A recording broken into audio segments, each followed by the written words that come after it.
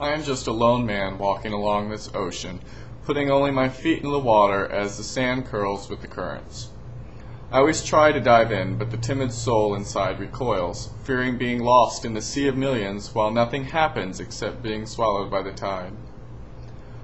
But I look around at the shores of where I am, and I see nothing for me here.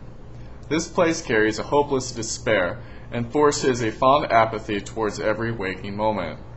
Sometimes I think I must have been marooned here after possibly killing a whole busload of nuns or something in a previous life. It's the only explanation that makes sense to me. It truly has to be karma. I am caught in this vapid, circular, monkey raping motion of working myself to death at a demeaning job so I can just pay my bills. I laugh and say that it's okay because I'm truly saving all my little bit of money for my own private island out there in the Caribbean, though at this point I'm starting to think that it's just a floating pile of debris. And it's in someone's swimming pool. Then sometimes I think this is more of a hostage situation here. Maybe I'm being guilted into continually living a life I never asked for, and that something is wrong with me if I just want out. Life has this Stockholm Syndrome grip on me. I need to reprogram myself to no longer love my captors and to set myself free.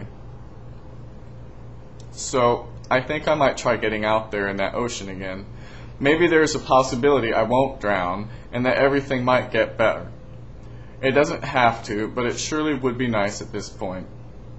And while the shores of this horrible hell I'm in will never completely disappear, maybe if I can get far enough out there in the expanse, they will vanish with the distant horizon. This gaping abyss might just become a pinprick hole in the bellowing fogs. I say that every morning the sun rises, I must make the commitment to do the same and to live life. I also must not start so many sentences with first person singular pronouns.